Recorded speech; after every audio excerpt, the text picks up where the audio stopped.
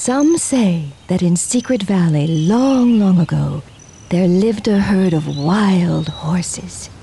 For years, people have wondered if horses still call the valley home.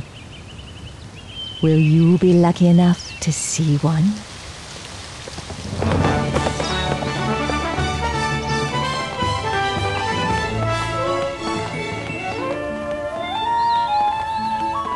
Hi, Barbie. Thank you.